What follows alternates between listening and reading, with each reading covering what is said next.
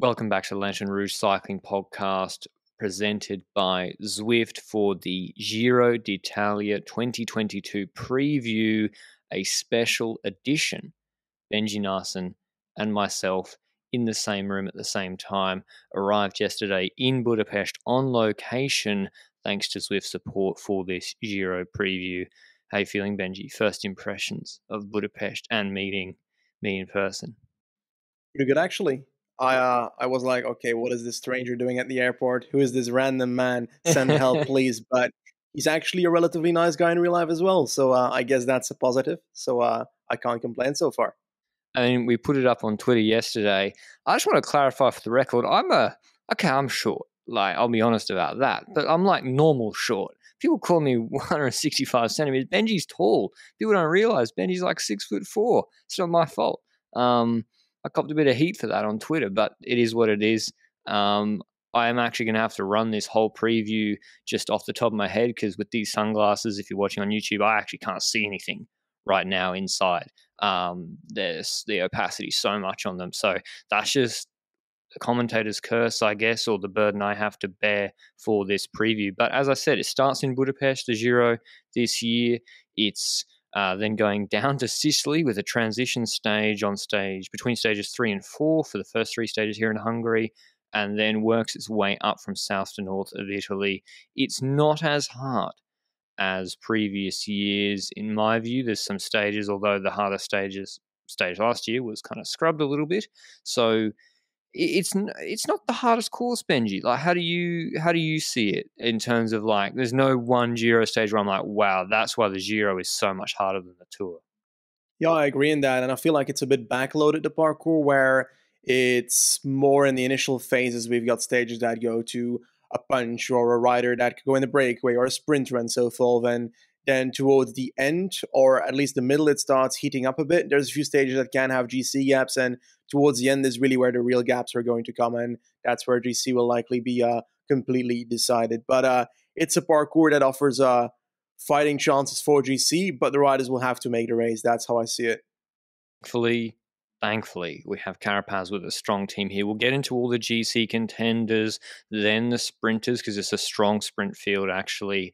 And then we'll go stage by stage, as we always do, before giving our predictions at the end of the race. But before we get into that, as I said, it's thanks to Zwift that Benji and I are here on the ground Ante Giro d'Italia Grande Partenza. Zwift is the cycling app that makes training fun whether you're just trying to get a bit stronger on the bike for your weekend rides or preparing for a grand tour like Cavendish at this Giro Italia, there's something on Zwift to help you get fitter and have more fun on the bike. Zwift has real world and fantasy locations to ride in, hundreds of workouts on demand, training plans, a packed calendar of group rides, pace partners to drop in with at a set pace, and even the ability to create your own meetup spending more time on the bike thanks to Zwift has certainly helped my and Benji's fitness over the past few months. So if you haven't given it a go, head to Zwift.com for a free seven day trial. But GC contenders here, Benji. Carapaz, he's like the $2 50 favourite, shorter than Bernal was last year. Bernal was co favourite with Simon Yates when they went into it. Why is Carapaz so short? Ooh, I think it's the fact that he's got a podium at the Tour de France last year. He uh, has his Giro victory in the past already. Next to that, also, if he would have had a decent support in that Vuelta against Roglic in 2020, he'd likely actually have won that Grand Tour as well. So he's the rider on the start list that has the most proven GC capabilities. Because if you look at the other riders that are favorites, like Simon Yates and Almeida, and Almeida is unproven when it comes to the podium so far, and Simon Yates is inconsistent. So those are like the aspects that also improve Carapaz's chances versus them. And when we look at the team surrounding them, a Porte, a Castroviejo, a Ben Tulett, Narvaez, Puccio, Sivakov, and Ben Swift, that's a pretty damn strong team, I'd argue, to support him. It's not necessarily their Tour de France level team, but it's definitely good enough compared to some of the other teams that are surrounding the GC favorites of other teams. And my question for you when it comes to that team is do you consider Carapaz like 100% complete leader, or do you think that Richie Porte might actually fall into a co-leader role? Well, I think Carapaz should be 100% leader. Like Porte's. I mean, he hasn't strung together three good weeks since Tour de France 2020, which was a good level, but he yeah, it's weird. He said at the start of the year, I, I just want to, uh, in my last year, I think, not be the leader. And then there's some words like, oh, maybe I'll get my own chance at the Giro. We saw Carapaz and Porte last year at the Tour de France. Not the best combination when Porte gave uh, Pogacar a lead out on stage eight. He then dropped Sivakov on stage the last stage of Tour of the Alps, I think, uh, when Sivakov was going for GC. So that makes me a bit nervous. But I think if you're Carapaz, you can't complain. Like we've been saying for years, give Carapaz some support, and he's got Castro. Um, in his first Grand Tour of the season, he's got Swift, Sivakov, like it's a good team, but no Dunbar, Benji. Like, what what more does he have to do? He won Settimana Coppi Bartali. Uh, is he injured? What like what is it? Because I think this is an indication that he's leaving. Because there's no way Tulett can be more helpful than Dunbar. No way. I agree in that aspect. It was very similar though in Coppi Bartali, for example, but I agree that Dunbar is a rider that I see more as a, uh, a domestique role in the mountains, better than, for example, a Ben Tulett here. And next to that, I'm also Ben Swift is also the kind of rider that I'm like, okay, meh. But then I look at his results in previous years, and he's always very consistent throughout Grand Tours. And I think, despite me not necessarily seeing him on the level in the mountains as a uh, Dunbar, I do think that Ben Swift can offer a consistent support work in most of the terrains, to be honest, for Carapaz. So I think this team, they're regardless of Dunbar not being there, is still very, very strong. And I'm curious if even Narvaez could have a try at the first stage. We'll talk about later on. Second favourite, Simon Yates, off the back of Paris Nice, nearly beating Roglic on GC. Incredible last stage uh, there on Col d'Èze. And then he didn't do Tour of the Alps. He's done Vuelta Asturias. He won the first stage easily lost all the time on the second stage, won the third stage easily. Whether that's a training thing, people saying like he didn't want to do three hard days in a row, I'm not sure. Whether it was just being Simon Yates, they didn't expressly say that. But he's here with a complete GC team. There's no Groenewegen, there's no uh, Kaden Grove sprint option. It's Kranick, Hamilton, Hepburn, House, and Juul-Jensen, Scotts, and Sobrero. So it's it's not, of course, the Castroviejos of the world or Richie Porte, but they're all committed. They're all experienced.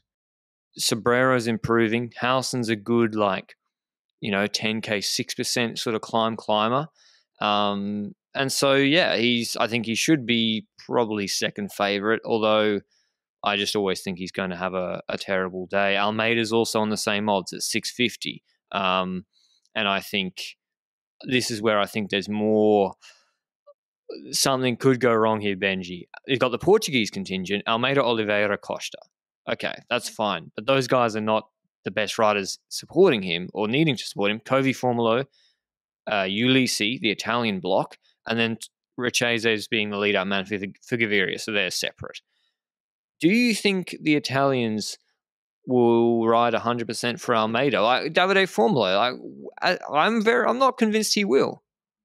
Ooh, that's spicy. I think I saw an interview or something about him in the early parts of the season where he mentioned that for the Giro, he'd like to have his own chances or a free role necessarily, because he was talking about the GC chances in the future and so forth. And he was saying that he might try and go for top 10 in GC himself. But let's be honest, if Almeida's in your team, if I'm Almeida and I hear that Formolo wants to get a top 10 in GC, I'm, I'm, I'm breaking tables in half.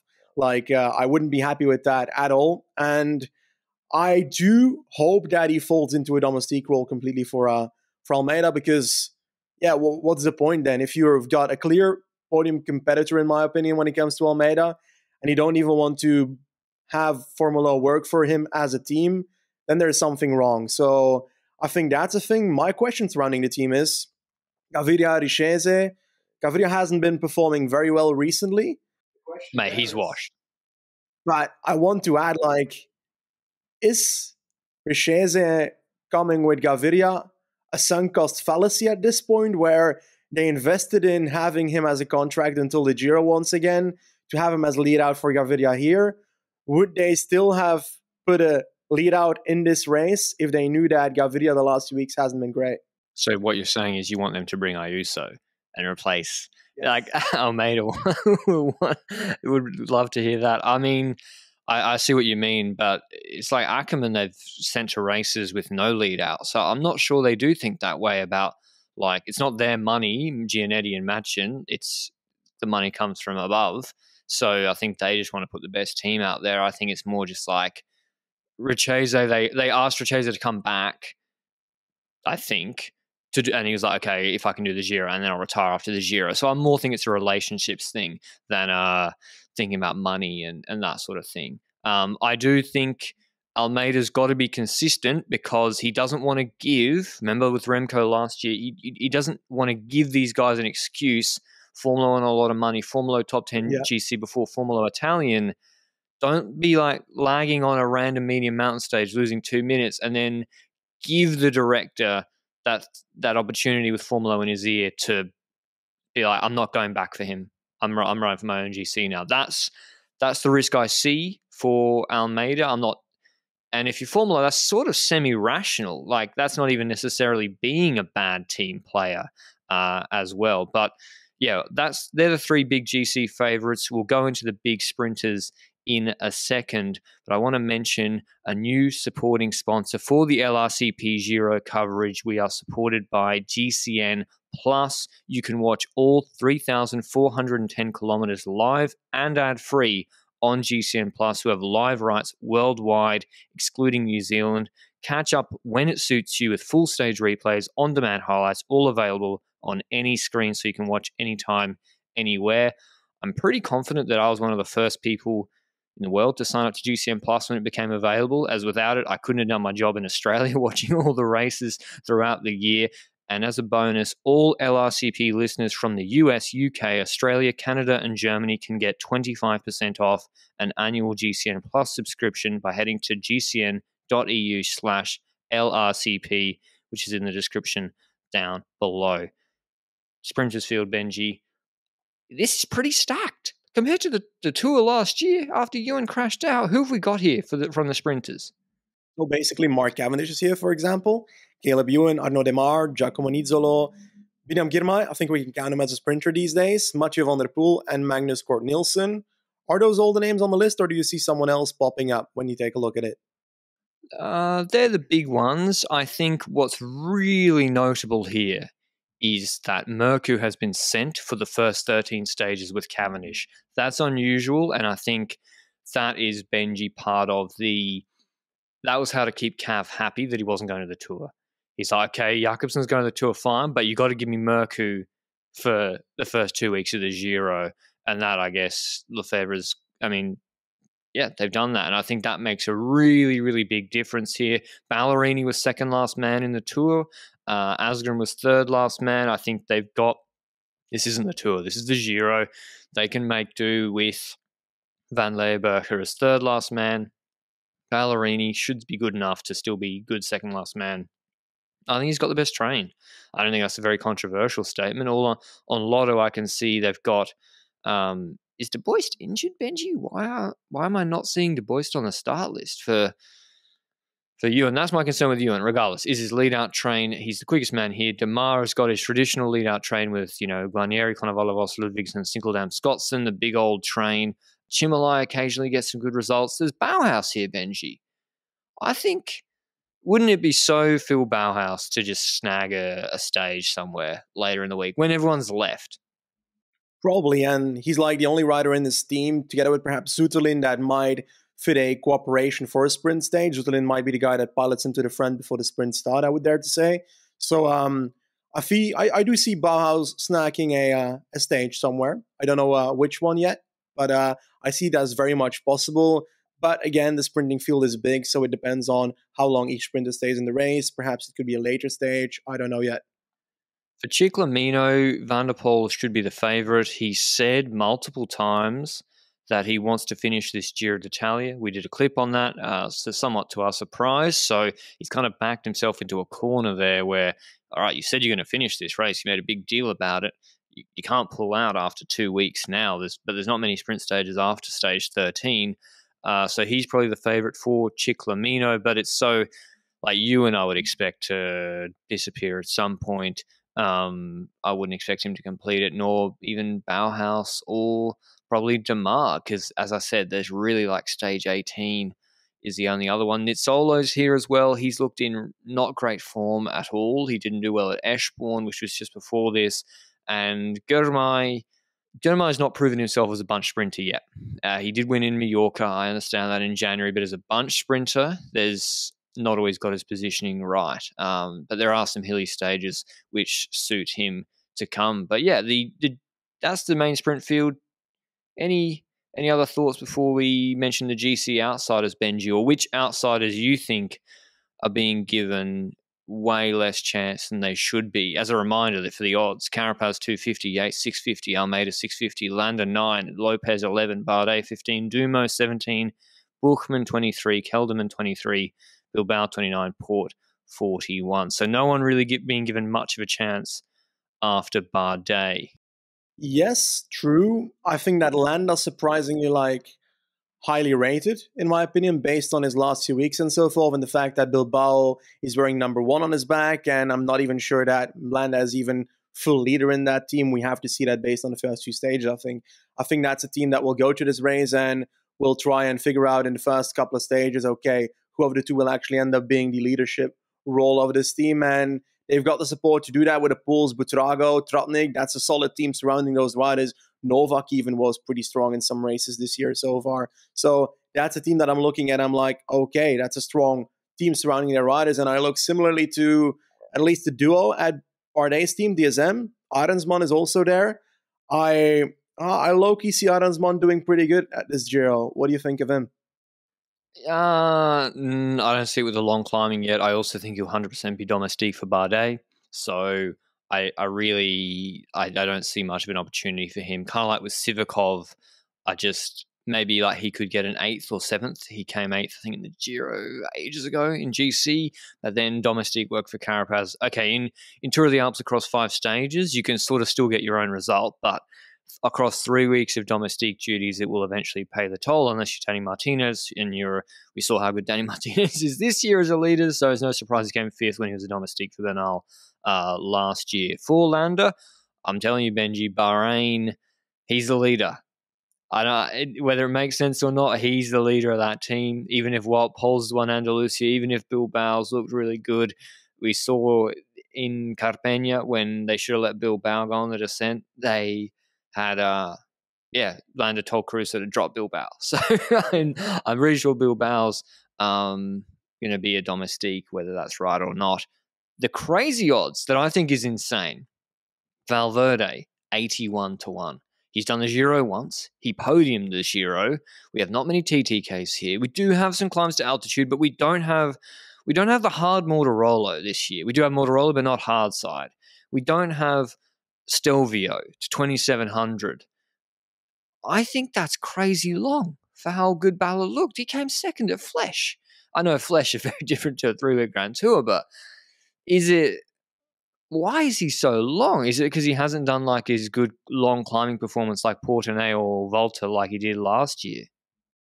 I think yes, and I think it's also the fact that Movistar kind of um, they brought the idea forward at the start of the year that Sosa would be the GC leader. I've always had my doubts about that personally, even though he did pretty good at Asturias last week. But when it comes to Valverde, I'm like, hmm, uh, they were they were kind of like stage oriented, trying to win stage and so forth. So whether they actually decide to do that or go for GC, I lean more likely that he's actually going to fall into a, a GC role throughout the race because like I find it so weird that Valverde gets this parcours and does not go for GC. That just doesn't doesn't say anything like to me. Yeah, although you know they signed Sosa. Probably when they signed him, they said, okay, Enric will go to the Tour and be leader and the Vuelta. So, you know, he was never going to get a Grand Tour leadership at Ineos. So maybe that was the agreement that he'd go. Whether Valverde sacrifices his race for him, I'm, I would be surprised. They have a pretty good team for Movistar at the Giro. Sosa, Samitier, Rojas obviously always goes with Valor, Valor where he goes. Pedrero is good. Lazkano was good in uh, Liège, I think. Bata, Arcas, not a bad team. Uh, so yeah, I think just watch out for Bala. There's a lot of sort of misc. Uh, too hard for sprinters, too hard even for climbing sprinty boys, but like punchy finishes in this Euro that I think suit Valverde a lot. Breakaway stages. Yeah, probably. The wild Movistar control all day. Yeah, you, are right. Um, but is there any other? Try and look through the. What do you expect from Dumo and uh, Foss Benji? I, I think like fifth to tenth is for one of them is best case. I think Foss is the one that I'm looking at in that squad. I think they added some Oomen to the squad as third leader because they probably do, not trust Tom Dumoulin as much if I look at his performances at the UAE Tour and so forth. So my take is that Foss is likely going to end up being the strongest in that squad. I um I like him for the initial time trial and so forth that will go in later on. He's good at those time trials. He had good time trials, I think, last year at Giro initially, and also got good results out of that towards GC. That was his strongest kind of skill. And I think that's what I'm looking at when it comes to Jumbo. I don't expect too much from Tom Dumoulin. I'm not going to lie about that. I feel like, yeah, even top 10 will be a hard thing to do, even though he uh, spent the last few uh, weeks, I think, on training altitude camp. Nonetheless, when it comes to other teams like Miguel Angel Lopez and Vincenzo Nibali at Astana, is Nibali washed? A question that arises in my nightmares every single night. I um I, f- I think if he tries, he could genuinely still like top eight to thirteen in this Giro. I don't believe in a podium, which oh, is what a lot of he's people. pretty washed. Yeah, he's. Uh, but he's washed compared to what he achieved at the rise of his career. But a lot of people would still sign for the results that he could probably do. I would love to see a Nibali that doesn't go for GC, that decides to lose time initially and just go for stages. But that's not going to happen most likely. Miguel Angel Lopez is a Mando that I do see doing well in this race. Yeah, Lopez is always underrated. He was, he's been sort of on and off this year. It's hard to know with the Astana riders because they haven't been getting paid like uh, a lot of the year or paid late. You know, how motivated was he at Tirreno Adriatico, where he didn't do very well? But at Andalusia, he was the strongest rider. He just got sold by Lutsenko. At Tour of the Alps, he won a stage uh, the Großglockner stage. Not the hardest, but he still won it when it wasn't even that hard a finish ahead of Pinot. I think uh, Pinot came back because, yeah. So he looks he's looked fine. He's looked as good as you'd expect. There's no real, as I said, no Stelvio, but there is some still. They do Fedoya, I think, or Fedaya, or they do Pordoi to 2,250 meters. That's high enough altitude to give him something, but there's no beastly high altitude finish like in the Tour de France this year, where there's some certainly some stages with his name on it. There's no long TTKs, but yeah, he's an outsider. I always like Lopez, and I think he's, I think he's correctly eleven to one is actually pretty short for a guy with his team support and his year so far and his track record in the last eighteen months. That's pretty short ahead of Bardet, who won Tour of the Alps um, and is good and cold and wet, and is probably maybe more motivated. So yeah, that's pretty I think that's fair. Um, but yeah, any last thoughts on the GC guys, Benny, before we go into our patented stage by stage predictions and analysis? Yeah, I think we can also note that Boras here with Kelderman, Buchmann, Hindley, and Kemna. I do think that Kelderman is going to end up being the stronger rider in that squad for the GC. 100%. Kemna should probably go for stages based on what he's achieved so far. I think he can achieve a Giro stage relatively doably, knowing how decent he'll he is. He'll lose six minutes. First first stage, I guarantee he'll lose time. He's here for stages. Yeah. Okay. And then Guillaume Martin's perhaps a rider that will generally go for GC points for that team in in the UCI points ranking thingy, and I think he can 100% top 10 if he tries. Like, should be easy for He'll Guillaume Martin. He should top 10. Yeah. Hugh Carthy is a rider that will be going for GC, although I don't know. He's been a bit inconsistent last year compared to the year before. For example, it's it's hard to guess what Hugh Carthy will do, but he's got to come back at some point. Like he got to come back at some point. But I want to shine a light on Trek for a second. Mollema, Ciccone, Schielmoz. Mollema's going for that stage win at the Giro because he's got one at the Tour and the Vuelta, and he wants one at each Grand Tour. Ciccone is probably the GC leader, but Schielmoz the top ten. It's happening.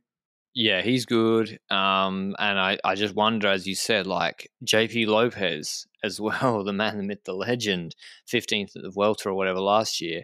Um, will he be going for GC? Who's the domestique there? Mollema, as you said, will be going for stages. Is Dario Cataldo going to be the one domestique for three guys all who all think they're leaders? so that'll be interesting to watch. Ciccone, the parcours, I think suits him pretty well as well. But yeah, that's all the the main GC men. Uh, every team, most of the teams, except sort of the Italian Pro Conti teams, do have a GC rider that they'll be going for, except uh, like an Azure Desert Citroën uh, and Quickstep and Groupama and Lotto broader sprinter. So it's very polarized. Like it's very clear what each team's motivations are with how they've assembled their rosters here. But going into stage one, the Grande Partenza, not the prologue. They have the TT, the second stage. Stage one is I'm not going to call it a puncher's finish, but it's it's a real mix, sort of difficult finish to assess. It's flat stage, so they'll be coming in fresh. First stage, 195 k's, leaving from the center of Budapest, and then going north to Visegrad. Five and a half k's, 4.2% this finish, but it's shallower at the base. The last 1500 meters are about five and a half to six percent. We were told by Danny Rev when we interviewed him yesterday, Eurosport Hungary's commentator, that it's freshly uh, asphalted, it's good road surface, it'll be fast. But then I'm like, okay, but it's steeper at the end. MVDP is the favorite for the stage. I just he has to be. Um, he that's why he's probably here. He saw that for an easy or a good opportunity for Maglia Rosa first stage. Pidcock was going to be here, but he's going to the Tour de France. I think he was. This would have been a target for him. Girmay second favorite at 450. Ewan third at 650. He's being given a chance, and then it's like Bala, Covi, Carapaz, etc. Almeida's 29. I think Almeida wins this stage. Ooh, spicy. I um I'm not so sure about it. I think it might go to like someone that has a, a clearer sprint versus the punch area. Because Almeida has a punch, we know that. Bologna and so forth, but Bologna wasn't necessarily at, against the best competition either. Ah, I see Van der Poel definitely as one of the riders that can do better than Almeida here. Positioning is going to be key on that climb as well, but it's long enough that you might be able to move up by the time we get to the sprint if it really goes badly for a second at the start. I think there's so many riders that can do well here, like a Van der Poel, like a Girmay, like a Magnus Cort Nielsen, although he's apparently said that he wasn't going to be in top form at the start of the Giro for some reason.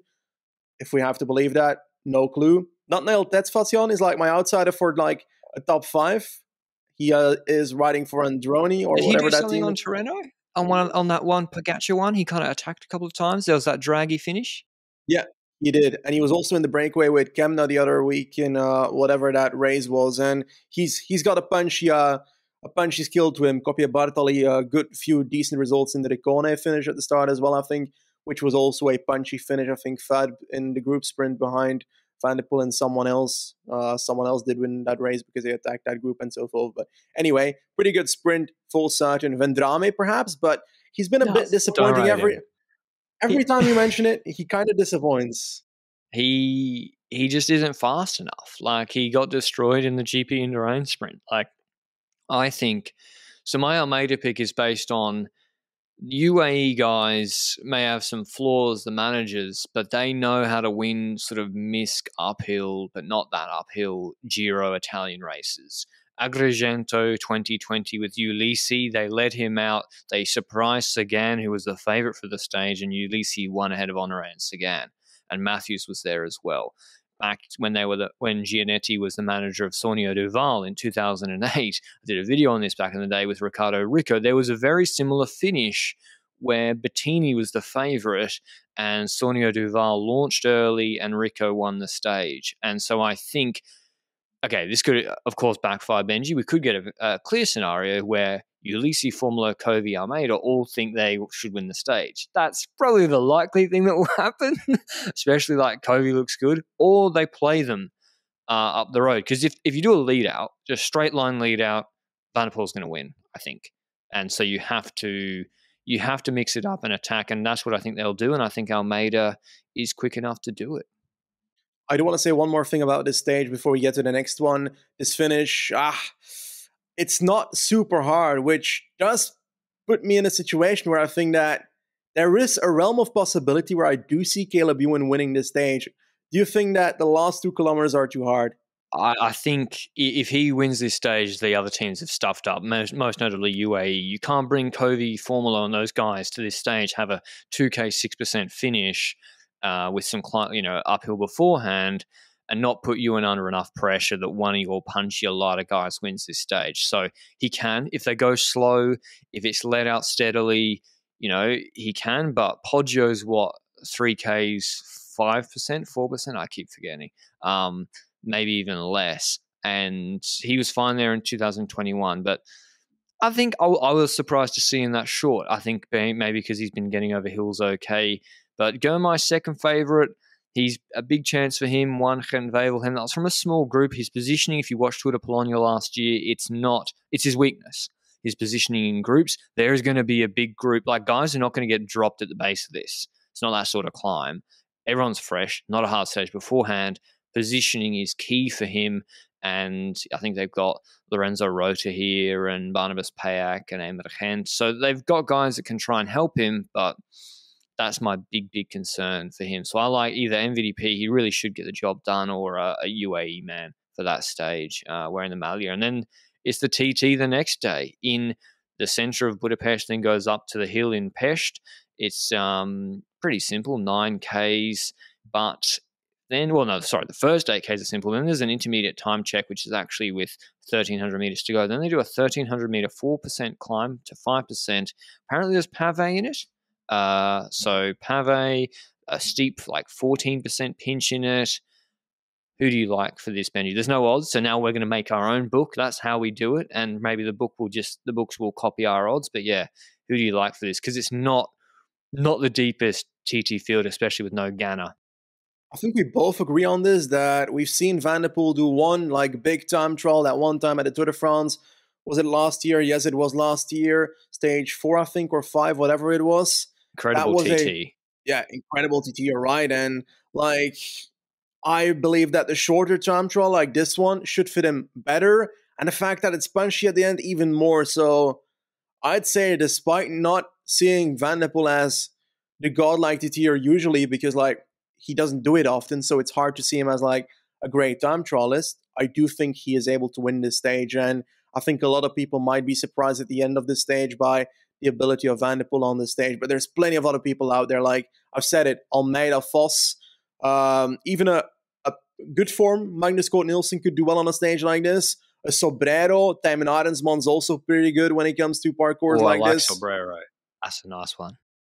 Okay, tell me about it. Well, he's just been doing well. He did well in the Giro. He, he, he's come third in the Milan TT last year. He motivated. He's Italian. Bike exchange setups look good.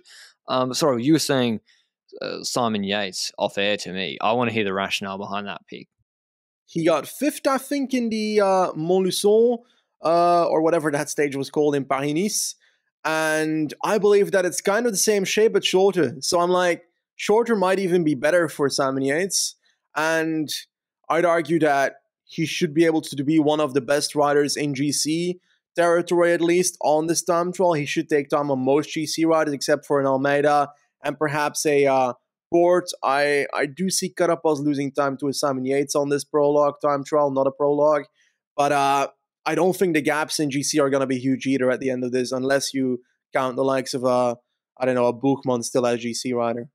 Yeah, and then there's there's no, as I said, no Ganna, but there is Dumoulin, Affini, Foss, like the Yumbo guys. You know are going to do well, but it's such a short TT that yes, okay, Dumoulin might take 15, 20 seconds on Carapaz, maybe more. I mean, give him 30, but I think that's sort of immaterial at the end of the day. Is he good enough to win this stage, Dumoulin? He did a good UAE Tour TT. Affini and Foss both in the top five of the prologue downhill last year, which I think had a little climb and, and then a crazy descent uh, in the Giro last year. But all of that's to say, I think MVDP is winning this stage and keeping or going into the Maglia Rosa, although Almeida will have to cap him. So it depend on the bonus seconds because I said Almeida will take the first stage. I think Almeida will be the one of the best GC contenders on this. I think it suits him really, really well with that punch and yeah, I think, but I think MVDP is winning. He's put up on Instagram. He's got some custom extensions. He's taking it seriously because of the prologue and the Tour de France as well, or taking the TT more seriously than um, doing it, writing it for the first time on the morning of the stage for the year last year. So, yeah, suits him perfectly. Crazy talent, and there's no Ganna here. Who is your pick for this this stage, Benji? I never asked. For the time trial, I was going to say uh, Van der Poel as well, but I'll be uh, I'll be a bit of an opposite man. I I'll go with Thymen Arensman as a, a rider that I do see well for the time trial and on the uphill section. His his prologue this year in one of the races was it Tirreno, like the short time trial was really good. The hill should help him. I think Arensman will podium this time trial. And that brings us to the uh, third stage, which is from Kaposvár to Balatonfüred. 201 kilometers flat, and the final is apparently pretty straightforward, not that technical. So we should see a pretty straightforward sprint throughout the riders that we mentioned earlier as these sprinters in this race. Is it Cavendish territory, Caleb Ewan territory? Is his lead out good enough if the bus doesn't show up? All these questions. I know the more technical it is, the more important position is, then it all goes to even like a Bauhaus. He comes more into play. Tirreno Adriatico, last stage, lots of sprinters there. Bauhaus won. Cavendish didn't even contest it because it was a narrow run in, and Bauhaus, yeah, it just, it just makes it more random, and the guys who aren't the fastest can win. So I think that also suits Cavendish with Mørkøv here, and yeah, I I I think Ewan's the fastest man in the race. Démare actually has looked a lot better this year than like I think in one of the he nearly won at Tirreno stage, didn't he? Ahead of Ewan when Ackermann lost his wheel, or he did like a 300 meter sprint. I think he's looking better, but first stage, Giro. I'm trying to remember last year what happened. It was like Ewan didn't win the first one, but then won one two pretty comfortably. I'm still going with Ewan. It'll be a high speed sprint to Balatonfüred. There's no real climbs to note. I have to go with Caleb Ewan. I think he's the best sprinter in the race, and Cav's not looked. Uh, oh, he won Torino, didn't he? But I still think, yeah, I think he's maybe not as good as last year. I've got Mark Cavendish for it. I think the Mercury lead out will be uh, invaluable for him, and I think they are more they are better together than the Lotto situation when it comes to their train, and the positioning will be key, despite it not being a technical final. I uh, I trust Quickstep more in bringing Cavendish to the front and bringing him to a competitive position, and therefore to be able to sprint against the others. But I have one more question when it comes to just all the sprint stages. Is Mathieu Van going to sprint in these stages, knowing that Merlier fell out of that team with his Roubaix injury and that Ciclamino is up for grabs, or do you personally expect him to actually leave? Well, that's a good point, right? Because if he doesn't want to leave and he does want Ciclamino, you have to sprint. You have to go for it. And he doesn't like mixing it up in bunch sprints all the time. And sorry, we're not going to do this huge sprint discussion for every sprint stage. We'll get out of the way here. But yeah, he, he has to if he wants to go for Ciclamino. You can't pick it up from intermediates or whatever enough. I think he's obviously fast enough to be winning and top threeing sprints here, uh, particularly if positioning is and it's technical. He's got really good handling and they've got no, no Merlier, so they probably will lean on him to do it a little bit. It's, I don't know. I think he probably will. He likes to linger at the back around 10th wheel in the sprints and then sprint up like to open side away from people late. He did that in Tour de France stage four. I don't, I never actually figured out why he was doing it. Um, it didn't make sense. The stage uh, that Cav beat Merlier in, um, beat in when the first stage Cav won. So I think he might do that sort of thing, sprint from 10th to 5th occasionally. Um, but yeah, otherwise, Ciclamino will be going to uh, whichever sprinter finishes this race because I don't think it will be Ewan or Cavendish either. So that's the three Hungarian stages. Before stage four, there's a transition day, and then they all fly down to Sicily for the same sort of stage that they did in 2020. And it's a very similar arrangement of parcours compared to 2017. They do Mount Etna. I can never figure out what size. There seems to be about six sides to Mount Etna. This stage is 165 Ks and finishes with 25.6 Ks at about 5.5%. In 2017, on this stage, there was zero GC action except for Ilnur Zakarin getting 10 random seconds because the group just didn't chase him uh, and Thomas led over the bunch. It was a breakaway won by Jan Polanc, uh, who then wore the Maglia for a few days. I see that as a. Isn't that what happened last year, Benji? With um, who was it? Dombrowski or like like didn't I swear in the Vuelta and Giro last year there was some breakaway wins first week, first few mountain stages. I swear it was Dombro, and then Taaramäe got him back in the Vuelta. Yeah, I think so as well. I agree in that. I think it was uh was it the Sestola stage that that was the mark? You're right that won the stage. I don't know. At some point, you're right. We saw that this man uh, Taaramäe did it in the Vuelta as well, early stage, very similar. Uh, I think uh, I'm leaning towards breakaway as well. It's also dependent on the the wind situation on the Etna because I swear in the past there was also uh, always a topic whether it was headwind or tailwind on that climb because it's a pretty open space at certain points. So depending on that, that could influence whether attackers have the advantage or not. I haven't checked the weather conditions there yet. It's still a, a solid week out, so uh, I uh, I did not do that yet. Nonetheless, um, yeah, I I agree. I don't know which side this is. I think this is the side, if I my memory is correct, that Contador and Rujano did back in the day, but I also am not sure about it. But uh, it's not a site that says, oh, this is going to be godlike action until the top GC wise. I agree that this climb is the one that will be perhaps a bit less uh, selective and that some of the later climbing stages will be uh, more working towards actual GC changes. Anything more to add here when it comes to perhaps riders that you see doing well here? Yeah, I got a few. Dombrowski, who I already mentioned, uh, he's on the start list. Lennard Kämna, always going for breaks. Rein Taaramäe, again, like it's just history repeating itself. Guys I'd expect in the break. Remy Rochas, David uh, David Vieira.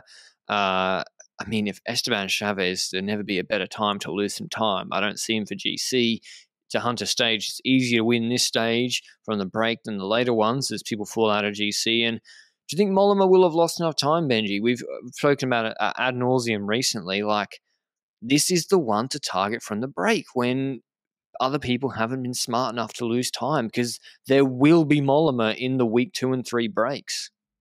It's intriguing because on one end, you'd indeed say Mollema has spoken a lot about getting that third victory, that third Grand Tour stage win and making sure that he has that in each Grand Tour. And if he goes for GC initially and decides to change that plan halfway where he then goes into a stage hunting role, then he's not really going for that. Then he's more going for GC first and seeing where he can land.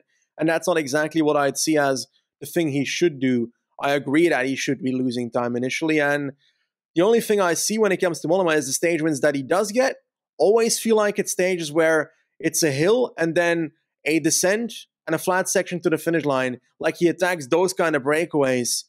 I don't necessarily instantly remember him winning like breakaway stage with a pure mountain finish on it.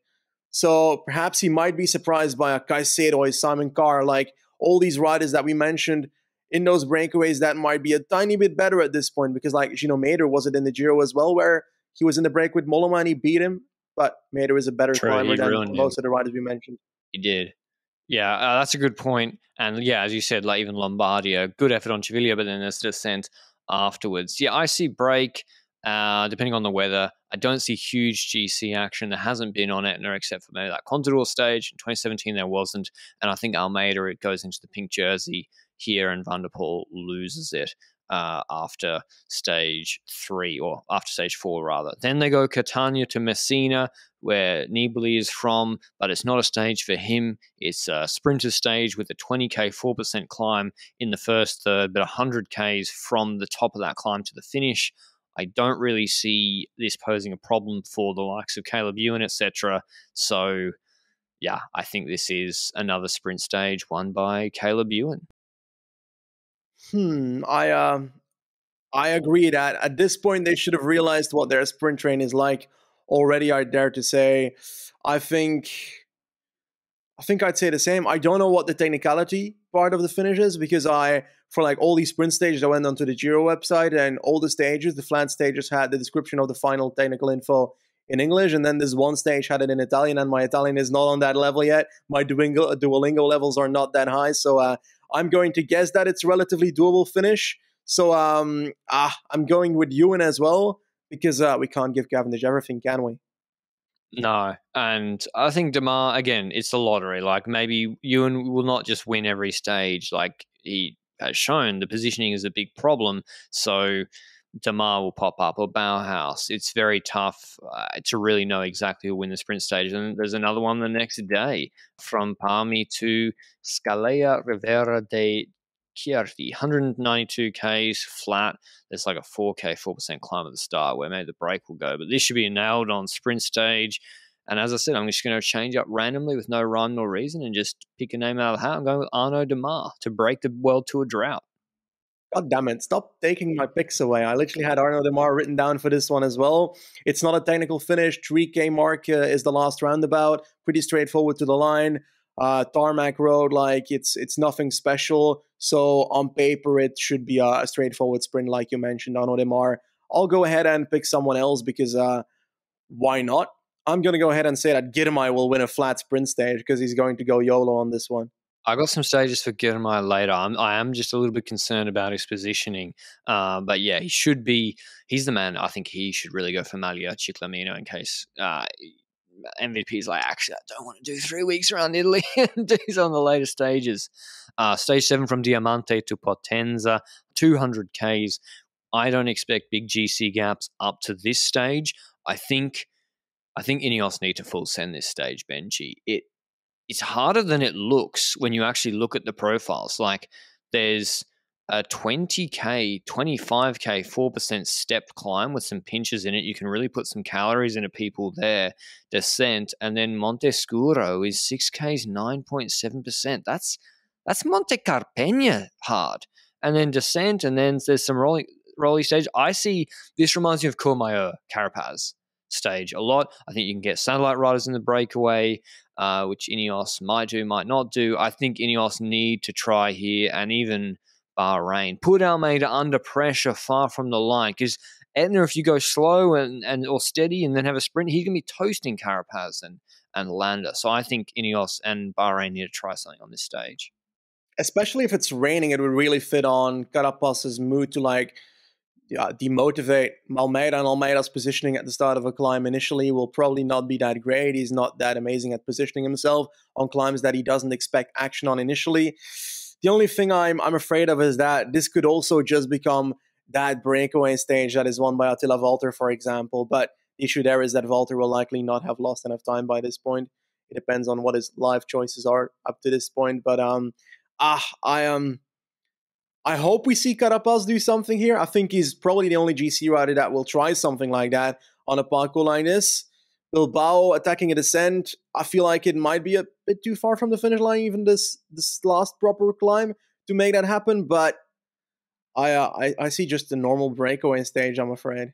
Yeah, me too. I, I am hoping I don't mind a break winning if there's GC action behind. I think Jan Tratnik or Felix Gall do well on this stage. I really think if Tratnik's climbing like last year, with it's got hard climbs but not a hard finish. Nine k's five percent is the last major climb, then two punchy finishes. It's like how he the stage he beat O'Connor in. Um, and it all becomes advantage to him over the smaller guys like a Gall uh, in that finish. So I like him for it. As Benji already mentioned, Simon Carr. Kudus might get in the break as well for EF. They have to try from the breakaways. Same with Mollema. This would be a really good Mollema stage too, but I'm going with Tratnik for this one. Ooh, Tratnik for a for a stage. Oh, you're you're kind of right in that. You're kind of right in that. But I'm gonna go. Uh, I feel like he might be chained. By the way, like he might be chained to Landa in this Grand Tour. No, well, I mean, true. Was it Landa who crashed out by by Zoncolan, right? I don't know about the other year when he beat O'Connor. Was he? Did he have a GC contender behind? That is a concern. Uh, so I have no answer or rebuttal to that. Okay, when it comes to the next one, then we've got Napoli to Napoli, which is uh, stage eight, 153 kilometers. It's an odd one. Like when I initially saw the stage, I was like, could this be a breakaway stage or could this be like a, a, a sprint? And I feel like the climbs aren't necessarily hard enough for it to be something a sprint team doesn't give any care about, but it needs to be the kind of sprinter that can get over hills. So, like uh, an Intermarché for Girmay. But my question then is I've always asked this to myself, and perhaps I'm going to answer it myself right now. This is a parcours where I'd say, what if Girmay just goes into the breakaway? You think the reason that hilly sprinter teams don't do that as a strategy is that they might not be able to control all the attacks that come in the group that is the breakaway later on? Yeah, that's the problem, right? You say, "Oh, get Wout in a break." That sounds great. The Tour de France. We saw what happens when he and MVP got in a break together, working together to control things in Stage Seven last year. Everyone in the breaks like, absolutely not. Are we going to the finish going with you guys? So they attack them. So yeah, that's the problem. I see it the same as you. This is the first Girmay stage. I think Intermarché need to go all in. The problem is there's a Matthew van der Poel on the start list. He will not be getting dropped on these climbs, but it's I mean, if Caleb Ewan doesn't get around this, don't even go to Worlds. Like this is 1700 meters, 7%, sort of 1K, 9%, 1500 meters, 5%. These are not long climbs. The last one's 3Ks, 5% from the finish. Like if he can, if he wants to do well at Worlds, he needs to get around this. I don't think he will. And uh, I like Girmay for this, Benji. I think I think this is the one they'll be writing down if they don't get it done on stage uh, stage one. I think that's a, a, good point. I agree on that. I think Van der Poel is my pick then because uh, I think that he will be there, and I uh, I trust him to have his kick as well at the end of a stage like this. I'm also not really leaning to the breakaway after having looked at the stage multiple times, but a stage that, in my opinion, is definitely not going to the breakaway stage nine, which goes from Isernia to Blockhouse. This is for me the first stage that I see as GC action and big gaps. I agree. Solid gaps. And it reminds me, it's not the same climb, let's be honest about it, but the gradients kind of remind me of a, a first, a second week version of Sega di Ala, perhaps. A big climb before another big climb, Blockhouse being the Sega di Ala. Then in that question, I think this stage is going to be a major for a GC, and we're going to lose at least G, one GC rider that we saw as a candidate for uh, the podium in this race. So this is the climb Quintana won on in 2017. He put 30 seconds into Pinot and Dumoulin. Uh, Nibali cracked very badly on it. If you crack on this, it's yeah, I had to put that in. Sorry, Benji. Benji shaking his head. 14 k's, eight and a half percent, and it's preceded by Lanciano, which is hard. This is in the middle of Italy. It's not in the Alps, Dolomites. I like Lopez for this stage, Miguel Angel Lopez. I think with no Pogrog or Vingegaard or the, or even Mader on the start list, he's a nasty climber. He's got better peak watts than Carapaz, Watts per kilo on the steep stuff like this throughout his career when he's on. And I think Lopez, like Quintana did, dances away and wins this stage. Now, whether the GC gaps are, you know, huge, I'm not. I don't think so. Uh, his team would really have needed to pace hard. There is Pronskiy, I think, on the start list, my boy, but yeah, I think Lopez wins the stage, no break, and I think which you mentioned, Benny. You said a GC contender will really get hurt here. I think Dumoulin, if he's still in the mix, is to get and Foss they lose time here. Almeida is the one I just don't know. Almeida literally can lose a minute on a stage like this, and then drop Simon Yates in week three on a harder stage. I nah, I I think this is the kind of stage where Almeida will probably hold on, and I'm more scared for Almeida in like, let's say Ineos up a medium mountain stage. I'm more scared of him there necessarily, and um, I kind of trust him more on a parcours like this. He kind of has the ability on a longer climb to drop initially, catch back on, drop initially, catch back on. He's kind of got that undying mode on climbs, and definitely on the steeper ones where other people when they drop they tend to be gone and lose time. He can actually like find himself again and kind of make his way back. So I think on longer climbs, I don't worry as much when it comes to Almeida than on the uh, medium mountain stage. Is that somewhat truthful, you think? Yeah, I think sometimes he gets caught off guard, like the Catalunya stage, first climb of the day, caught off guard in the rain. That wasn't that hard a stage. Groves made it to the finish with the group. Um, I forgot Simon Yates was on the start list. I haven't spoken about him for a while. He's nasty on when he's on. That being said, the Blockhouse video. If you want to see this climb, go and watch the video I did on Quintana's performance last week on the Lanterne Rouge YouTube channel. One of the Yates, I didn't bother to check which one it was. I think it might have been Adam. I don't know. Got dropped really early on this climb uh, in that edition. I think Simon Yates is the one where randomly, with the group at 15 deep, he could just start dropping on this climb. Like, that wouldn't surprise me if that happened. And he could also win it because his peak watts per kilo, as we saw on Caldes, are disgusting, like Miguel Angel Lopez. So I like Yates, but I prefer Miguel Angel Lopez for this stage. And yeah, I think I think Almeida, again, I wouldn't want to bet my house on anything Almeida does on a stage like this. I'm going to throw it to the next stage now. It's a stage that I've been looking forward to, and I hate these stages usually in Grand Tours. This is the kind of Bettiol stage of last year's Giro. I totally, completely hate those stages because it will be just a breakaway getting away. Sleepy stage. The peloton will give them 10 minutes instantly, and that will be allowed to go because, uh, well, there's going to be two men in that breakaway. We will see the resurrection of the Montalcino stage, Mauro Schmid versus Alessandro Covi, and I think Covi will take revenge at the end of the this race, this stage. I think Covi wins in Jesi. I uh, tweeted it about four or five months ago, and I'm standing by that fact. Covi's taking this. I'm looking for a completely missed rider because this reminds me of the Campenaerts Riesebeek stage a lot. I'm looking for like a Stefano Oldani. Riesebeek's here. Riesebeek's here. All right, I'm going to Oscar Riesebeek. Um, I haven't mentioned AG2R too much. Vendrame should be go, trying to get into a break like this as well. They brought a break team. We, if there was going to be someone winning from the break on in the mountains would be Nans Peters, but there's the Finnish guy Jaakko Hänninen who went well in U23 2018 in that stacked year. Again, he he needs to show something in this Giro. Bardiani have a chance here. Fiorelli's very good. He's quite fast. Filippo Zana's good too. Um, but yeah, it's I don't know Benji. Magnus Cort is my pick, and I know he's going to be the favorite for the stage. I'm pretty sure. Like, good luck going in the break with him. Uh, but the next stage, which Again, pancake flat sprint stage, bit quiet after the first rest day, proper rest day. 200 days, pancake flat, finishing in Reggio Emilia. It's uh, is this the wine tasting? They have like a wine tasting stage every year, uh, but Caleb Ewan's winning this just because it looks so flat, Benji.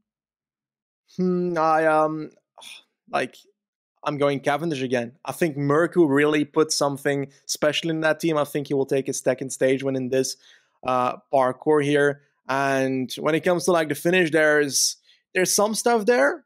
Uh, I think the last 350 meters is like straight, which means that on paper it should be long enough for a proper longer sprint to happen as well. It's not necessarily just 170 meters and and Caleb Ewan has the acceleration bonus. So I think I think Cav has this. So um, I'm taking Cavendish for this one. Stage 12, I think, has changed in the last six months, but I, hope I've got the updated one. It's from Parma to Genoa. It's like a little uphill drag at the end, 204 Ks, again, kind of a nothing stage. If I was MVDP Benji, I'd get in the break.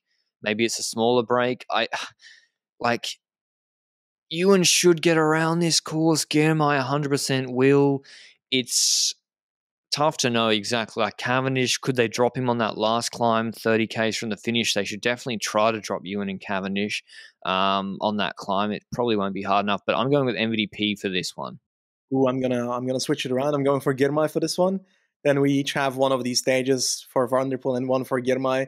Um, I think I don't know whether it's like when I see this it shouts breakaway, but on one end, I'm like, there could be like those two teams that are actually going to control it. We don't have a Matthews with a Bex team that does it this time around, but what if Intermarché and Alpecin decide to work together when it comes to the chase? I know from uh, some inside sources that they uh, were trading off business at the start of Paris Roubaix, for example, who's going to rise there or who's going to ride there, and they were actually like like uh, I'm gonna remember that you're not, not riding. I'm gonna remember it. So uh, I don't know whether they're going to be so happy to work together at this stage, for example. But uh, they could either go in the breakaway or they could do it from the peloton. I think uh, Girmay has chances, and the next stage is an intriguing one. I think, like, what does the Giro this year have with having a flat stage and then deciding to put a random bloody climb in there with about 100k to go because it's too far to actually have an influence on the race and I think that's a more pure sprint stage. I think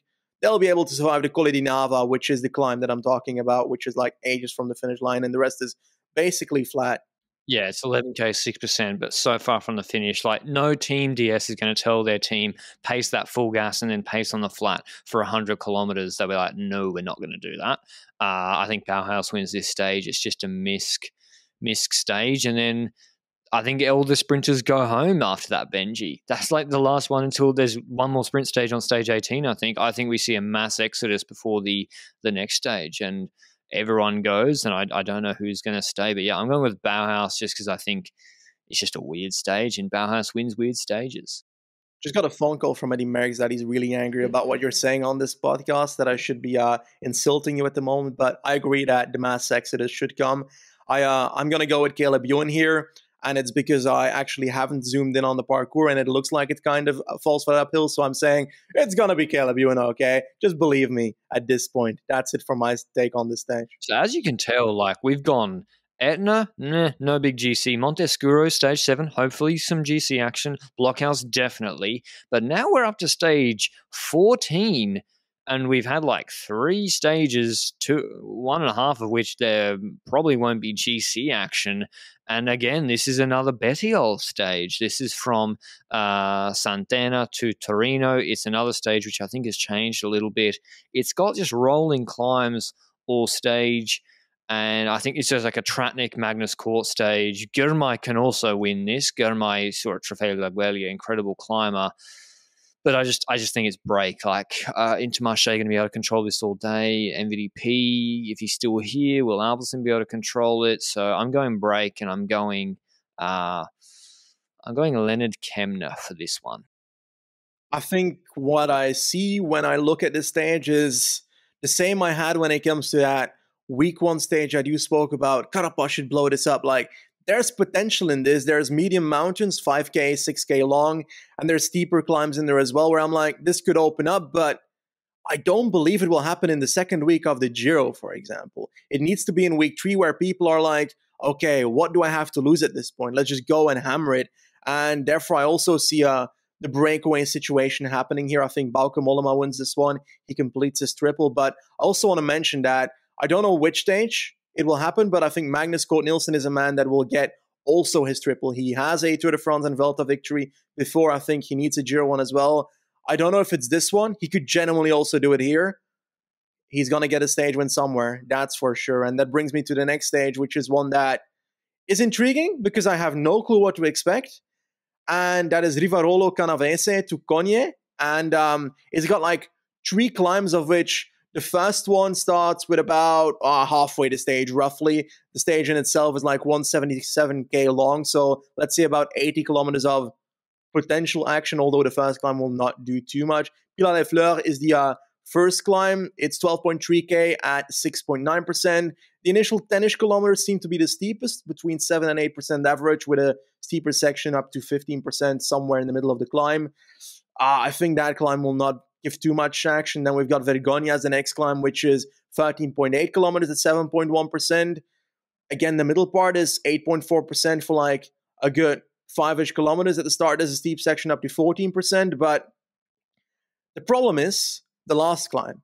Cogne is a climb that is not steep at all. The initial like five kilometers, not even like the initial kilometers go up to 7% for a bit average for one of the first two kilometers at least, 11% peak section in there as well. But after it goes downhill a bit, it starts going uphill. It's got a solid climbing section of, let's say, uh, three ish, four ish kilometers again, but then it's basically a false flat uphill of three to 2% towards the line for, uh, what is it, a good 13 kilometers. If this race is supposed to be ridden by GC riders, it has to open up early and does this not fall just before the next stage, or is there a rest day after this one? Because that might have a big influence on how this race is ridden, this stage at least. Usually a rest day after stage 15. So I think riders will try something. Again, if you go to the finish in a big GC group, Almeida will take bonus seconds uh, if the breakaway hasn't won the stage. Like he's punchier than the other guys, usually will win. So I think this reminds me of Courmayeur a little bit. Again, um, when Carapaz beat or took all the time on Roglic and Nibali, where I think I think you try on that that second last climb. You put put work in on the first one, you drop them on the second last climb, then you maybe have a satellite rider up the road, or you have a companion. Carapaz joins forces with a Landa, who's also got a weak TT and is not a great, you know, beating Almeida in the bonus second sprint finishes. And I think they, I think Bahrain will try for sure. Ineos not sure. I don't know how technical the descent is. Landa Bilbao, incredible descenders. That's just a that should cover the entirety of this Giro. Just be aware that any technical descent, any long descent, it's a good chance for them to put Almeida under pressure because, as we saw in Catalonia, they are significantly better descenders than Almeida. And then I don't know because the false flat bend can work two ways. We saw in Courmayeur when Carapaz took that time, because the draft matters so much, the game theory effect of the second group not wanting to chase while Carapaz just TT'd meant he took so much time because Nibali and Roberts didn't want to work with each other. Um, so I, I, like I like Landa and Carapaz for this stage. I think I think they go hard on the second to last climb. Landa's the last person I see doing well on the stage personally. Um, like I've got a feeling with this stage, just like with a lot of the stage in the Giro, that I'm hopeful, but also fearful that it could really disappoint this stage. And I, I don't necessarily see someone that might be willing to risk it all by going early, unless it's like a secondary GC rider like a Bilbao when they have Landa and GC as well, that kind of stuff. And I think that's possible in that sense. But we're going on to the uh, next mountain stage then, and uh, I'll let you do this one, but I do want to mention are these climbs too far apart before you uh, say the profile? Well, No, I mean I, the thing with the Giro is, as as Benji said, like the riders, we're really counting on the riders to make this race. Like, yeah, there might not be anything on that stage fifteen stage, and then stage sixteen. What is it? Thirty k's of false flat before, after, after each of these climbs, and then sort of five k, eight percent climbs before the final stage. And it's not a mountaintop finish; there's a descent, but I still think this is a big stage. I still think this is this could kick off, and I don't I don't have a big problem with this. Some Italians are telling us, "Oh, this not as hard as Giro as it could be." I think this is plenty hard enough, uh, and I think we should have good action on this. I'm not concerned, Benji. I think the aspect that I'm not necessarily a fan of on this section is that the last two climbs is a smaller climb before a bigger climb. I like it the other way around. I like the bigger climb before we've got a final smaller climb because then you're then you're calling for action on the bigger climb before the smaller climb. Now you're kind of like evading the action on the smaller climb, using it as a bit of a uh, an attrition climb, building attrition into the legs of your competitors, and then on the final climb, the attacks will come. So I don't expect attacks necessarily before we get to that final climb because again, it depends on who has something to lose at this point, but there's plenty of hard days to come after this one, including the one after. So I uh, I think action on the final climb is happening here. I think gaps are going to happen for certain. It's not a it's not a Mickey Mouse climb. That last one, that Santa Cristina uh, climb before they descend towards Aprica, goes up to 13% for a section as well. And the second part of that climb, like having 10% for half that climb, this is gonna make differences, and someone will uh, lose time on this day. And I'm looking forward to see who. And uh, yeah, that's my take on the stage. I think Simon Yates wins the stage, and I think Benji's probably right that it looks like a Tour de France stage with two medium mount, not medium mount, two medium gradient climbs beforehand, where a team will have to be really committed to taking it up if they want to do some damage on 12k 7% and then keeping that going for the rest of the stage so even if someone does be put in difficulty they'll probably come back so yeah, I think Simon Yates wins. I think he gaps people. It's perfect for him. He came. He always has some stages where he goes well in the third week, and I think he wins that one. And then the next stage from is again no mountaintop finish. Stage seventeen from Ponte di Legno to uh, Lavarone. It starts out of neutral with 9k 6%, so we are obliged to say that is satellite rider territory, getting in the break right there. Maybe, listen, this is what Catalunya was maybe Ineos send it there and try and catch Almeida napping. Uh, the long false flat downhill before the two main climbs of the day 12k 7.6%, and then the Monte Rovere 8Ks 9.6%. That is extremely difficult, but it crests about mm, 8Ks from the finish, the little roller, but still. The, it's like that. Um, what was that Saudi climb, Benji? The sky views of who you're at with the when Maxim Van Gils dropped. I why am I comparing a 2.1 Saudi tour climb with the Giro like hardest third week climb? But anyway, uh, people should be able to keep their gaps. Again, Simon Yates could win this. Almeida could win this, and I'm going with Joao Almeida taking this stage. I uh, I'm gonna go with Carapaz because uh, I yeah, can't pick Almeida because you picked Almeida, so I have to go for Carapaz.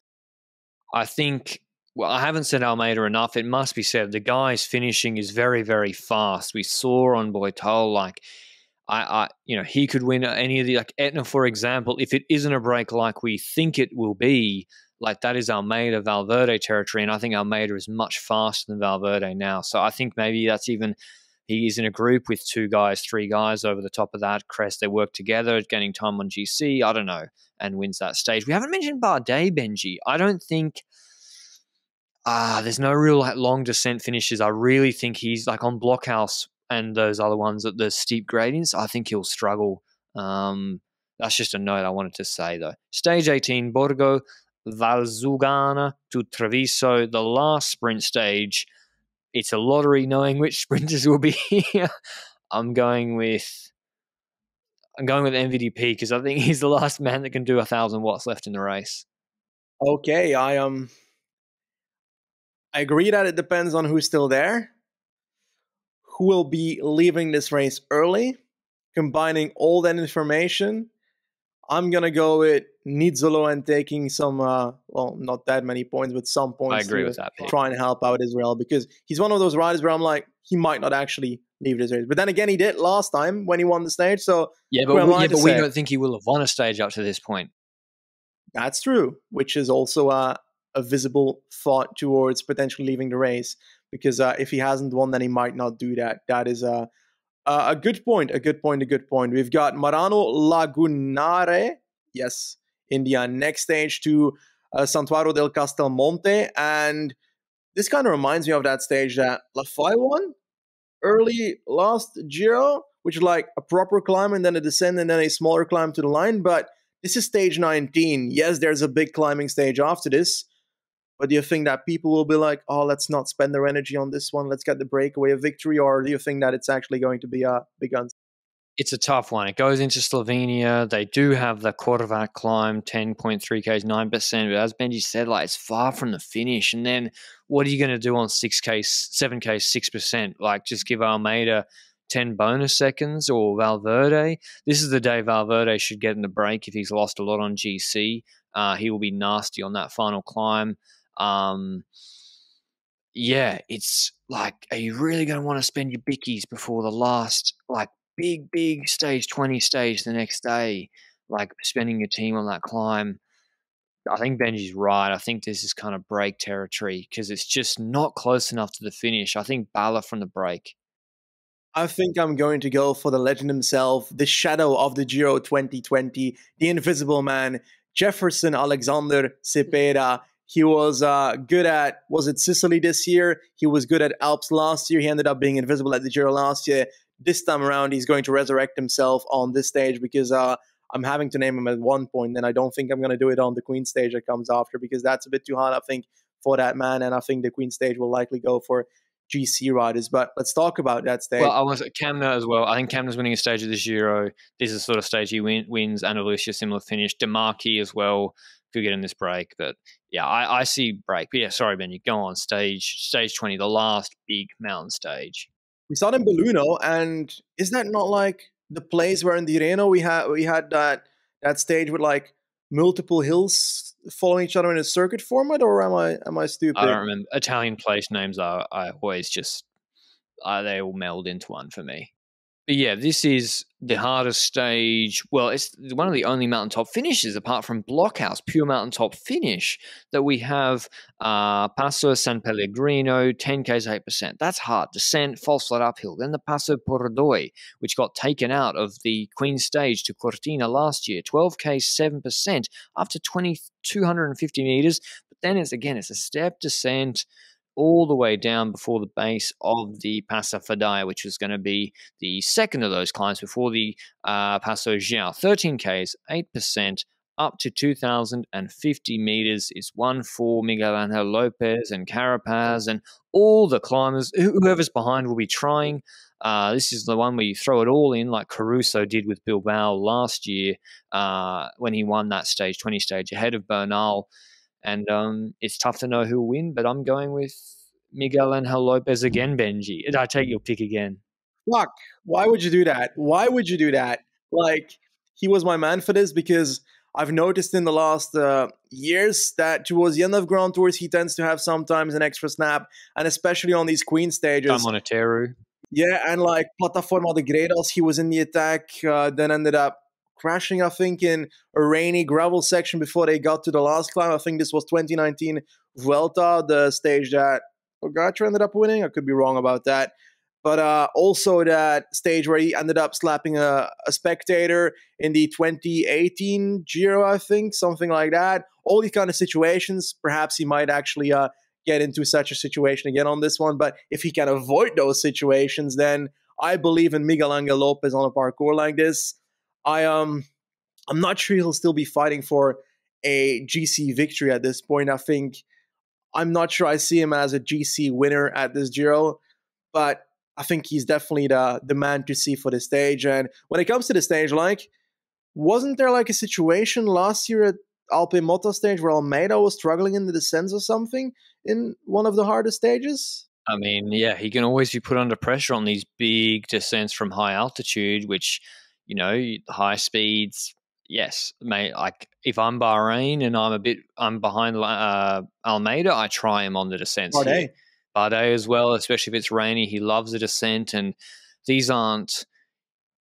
I don't think Bardet likes the 9 10% climbs, but the 6.5%, 7% in the draft, you know, he got dropped by Caruso. You have to remember on that stage when Caruso went, they actually, Caruso and Bilbao were following the DSM guys. But yeah, the start of this final Fedaia climb is 5.7K, is 10.5%. I think he's going to have trouble following a Yates uh, and a Miguel Angel Lopez if they are really on on that section. They'll put too much into him. But it's hard to know. This will all depend on who's behind on GC. If Carapaz is behind, Ineos will f- go all in to get him to try and win the stage. Bahrain, similarly, UAE Almeida will try something. It all depends on who's behind. It's impossible to predict exactly three weeks. Uh, this is at the end of the three weeks, but yeah, what you, what's your last thoughts on this stage? Which is, by the way, Benji, my favorite of the mountain stages in this year. I like the design of this one.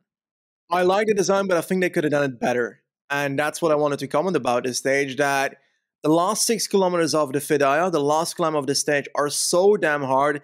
Six kilometers at 10 to 12%, sections up to 18%. Like, that's so damn hard that people might be scared for those final six kilometers and perhaps expect that they could even open gaps that are larger in those final kilometers and therefore postpone their action until the latter part. So, if there's no action on the earlier climbs, it is because that Fedaia is so hard that people are scared to go earlier. And that's my fear with this stage is that having Fedaia as the final climb instead of the second final climb could make sure that people don't necessarily go early. And uh, we'd like to see early action on stage like this 100%. And remember, if it's rainy on Cortina, it was actually EF with for Hugh Carthy who lit up that stage when Bernal then attacked on Passo Gel. So they know this area. They were confident in Carthy last year, and he did take some time on other GC guys in the top 10 on that stage. Stage 21 is the final TT, not in Milan, finishing in Verona. It has a 4K 5.5% climb, smack bang in the middle of it. Mauro Vegni said he didn't want the GC to be decided by TTs in this year's Giro, and it really should not be. It's well, 17Ks and there's the 9K prologue. Dumoulin, remember, in 2017 moved up from fourth to first on the final 30k TT when he took. I mean, that was Quintana's best ever TT, but he still took too much time on him. I don't think. I know. I don't think it should change GC too much here. I think Almeida wins this stage uh, and wins this TT, but I don't think he'll be able to take enough time. Maybe I think it moves him onto the podium of this Giro, though.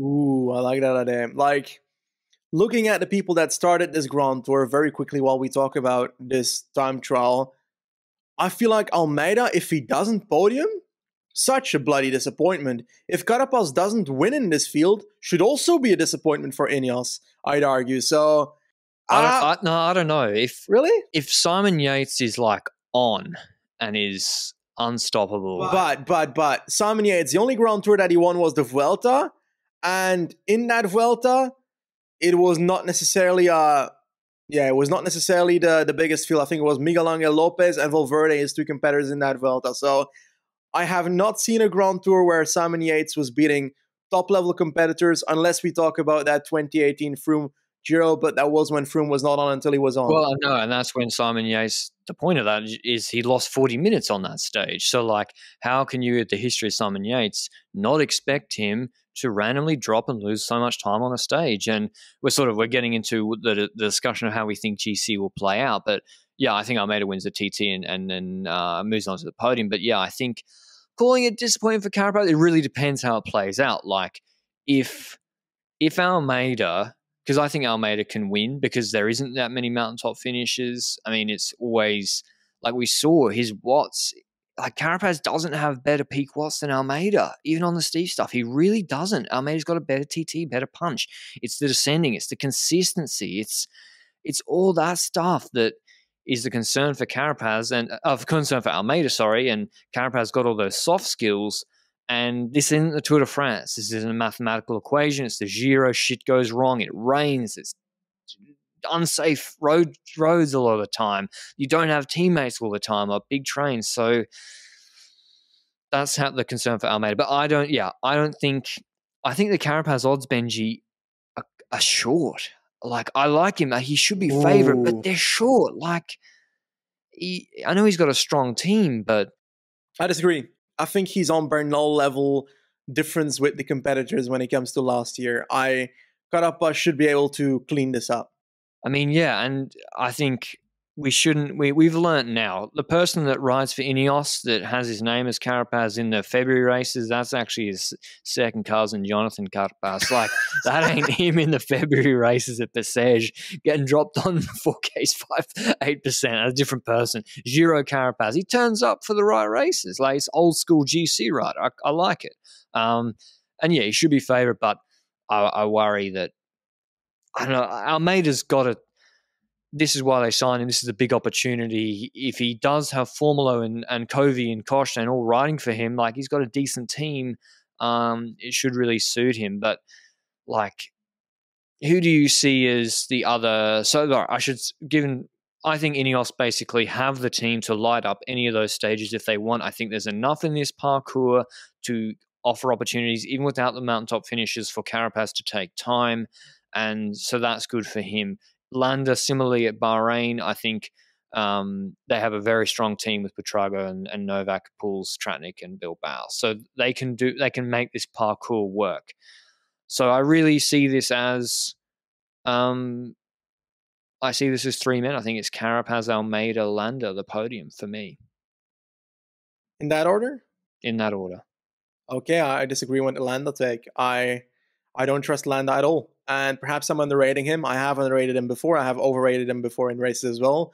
But this time around, I just don't see it. I don't see the form necessary to to do the, the podium. And I, it's so boring. But I've also got Carapaz in first. And like, if I use my brain and think about what's going to happen in this race, Carapaz first, Almeida second, and third, I'd argue that it's Wood Eater.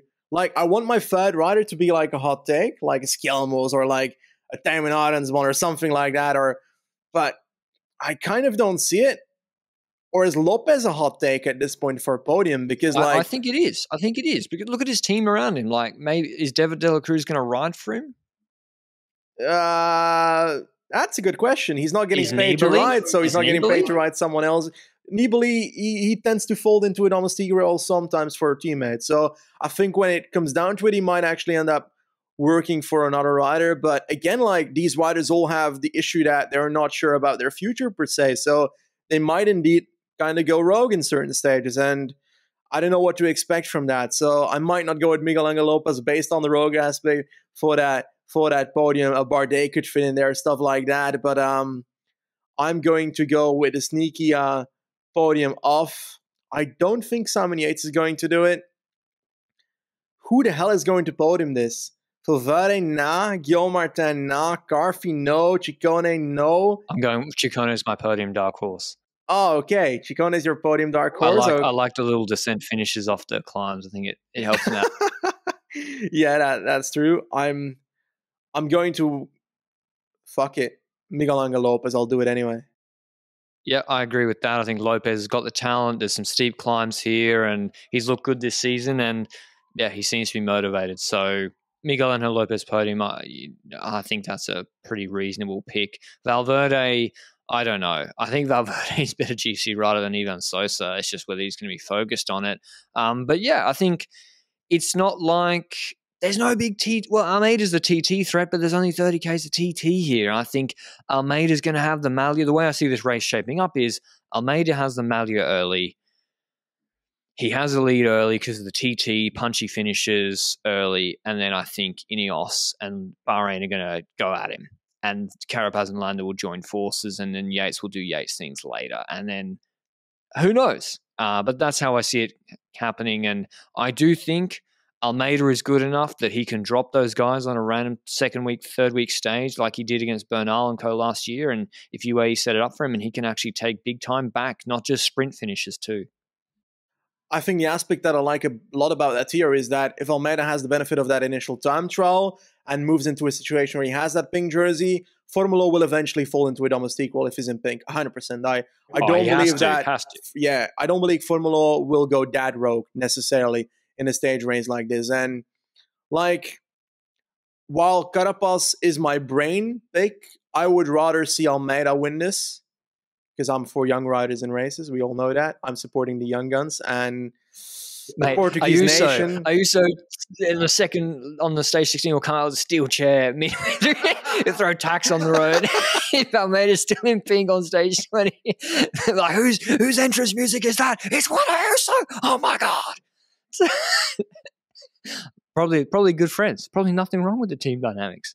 Uh, sorry. Yeah. Speaking of going rogue, I'll let you finish, Benji. Completely forgot what I was saying, but uh, when it comes to there, I'm I'll switch it. I'll go for Almeida winning the Giro because why not? I need to support something different than you. I can't agree with you. Like it's not in my blood, and that's why I'm I'm gonna go for that. But uh, let's jump onto the Ciclamino discussion, perhaps, because uh, who's finishing this? Yeah, that's the question. I'm going. I'm going. Biniam Girmay will take Ciclamino because uh, I I don't trust. There's 25% chance MVDP leaves. There's a 25% chance MVDP doesn't contest a bunch of sprints or knows how the intermediate sprint points work. Um, because not all of them give only one of them gives time. And the Giro is a bit weird. I, First one, I think. Yeah, so oh, gives points. Yeah, I'm going Girmay, Ciclamino. But I also want to add that I don't think the intermediate sprint points at the Giro matter that much in nah. the grand scheme of things, and as a consequence, they're not giving those 20 points. Thus, they don't lead to the actual deciding factor of that. So it's going to be based on stage, I'd say. And um, I don't think it's possible for a GC rider to take it. I don't actually know if everybody leaves, then it might be possible. I don't Almeida know. could take it if everyone leaves. Almeida is still for white jersey. Almeida takes the leader's jersey, the points jersey, the white jersey, and the mountain is jersey. Is he still young enough for white jersey? I have no clue, but I'm saying he will. Okay. Um, white jersey at the Giro is. I remember who fought. Did Lopez and someone fight for that years ago in 2017? But yeah, or 19. I can't remember. But okay, I made a white jersey. I agree with you there. If he's eligible, which we hope he is. Um, I think he is because the white jersey was like up to 27 years old in these races. Um, and so, are you going for him, Ciclamino? Every jersey. Okay, KOM. Unfortunately, there's no uh, Geoffrey Bouchard on the start list, who's just the easiest pick ever. So I'm going to go for an Azure to our teammate. They don't have much else except for sort of stage hunting to go for. So I'm going Nans Peters will take the KOM. Benji just did a, he just did a, ooh, mini he likes that pick. Yeah, I, I like him because he's kind of that rider where you would say he would fight for the stage win as well somewhere. So he's definitely going to be in breakaways. And um, I'd like to see Walter win KOM, definitely in a Grand Tour that starts in Hungary. But I fear that he's going to end up too much in a GC battle initially. And then towards the second part, he's going to be like, okay, perhaps I should have gone for stage wins.